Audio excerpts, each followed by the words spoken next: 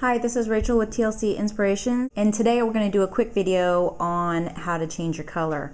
And if you learn this way, you shouldn't have to do it any differently when you're doing a matching yarn. So just focus on this way whether you're doing a matching or a contrasting yarn. Um, and then you only have to learn one way. You can see that I'm working in single crochet. So what we're going to do is we're just going to insert under a V like we normally would.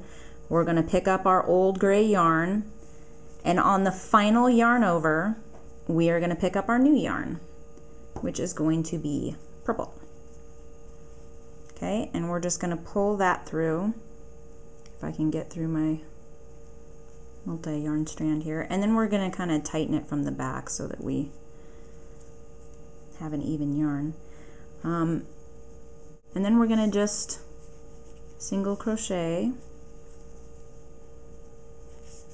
the rest of the row so that you can see why this is an important way to do this. Okay, the reason it's important to come out the top of the stitch like we did on the final yarn over is because you end up, your last stitch ends up being a full color of your old color and the next stitch ends up being a full color of your new color. So this is going to be true, this way of changing color is going to be true for all of the taller stitches, double crochet, triple crochet, etc.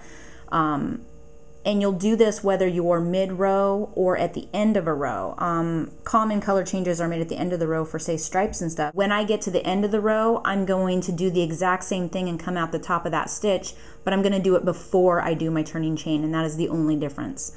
Uh, so that's it. Uh, that was a quick video. I think we're at two minutes. So uh, thank you for watching and see you on the next video.